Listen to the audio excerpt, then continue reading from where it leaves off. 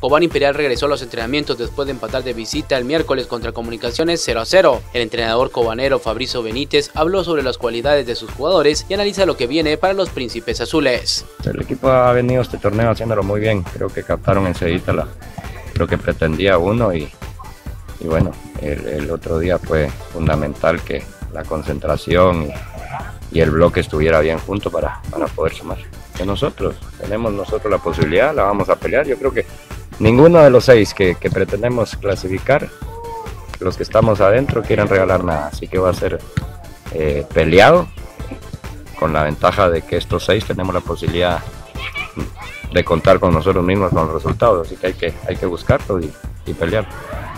En el fútbol internacional, el delantero argentino del Manchester City, Sergio Agüero, se declaró apto para el partido del sábado frente al Leicester, después de haber sufrido mareos en el amistoso de Argentina frente a Nigeria el martes en Krasnodar. El Kun fue sustituido al descanso de la derrota de Argentina frente a Nigeria 4-2 después de sufrir un ligero desmayo en los vestuarios. El City desmintió los primeros informes afirmando que no se trató de un desmayo, sino de un aturdimiento momentáneo.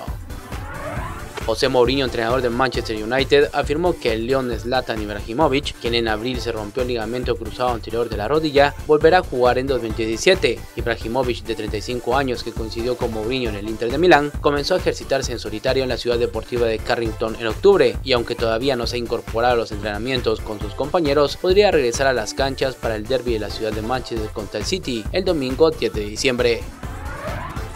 Además, un Cristiano Ronaldo que no acaba de asentar con la portería esta temporada en la Liga Española buscará reactivarse el sábado frente al Atlético en el derby madrileño, en el que el francés Antoine Griezmann también quiere centrar su punto de mira. Los dos artilleros rivales no han empezado la temporada de la mejor manera posible y después de 11 jornadas, ambos andan lejos de sus registros y la CONCACAF dio a conocer este jueves la nueva plataforma de competencia de las selecciones nacionales, bajo el nombre de la Liga de Naciones de CONCACAF. En la nueva competición jugarán las 41 selecciones del área, que estarán divididas en tres ligas en base al nivel futbolístico y deportivo de cada una, según informó la Confederación en su página web. A partir de septiembre de 2018, en cuatro fechas diferentes, llevará a cabo una serie de partidos para definir la posición de los respectivos equipos.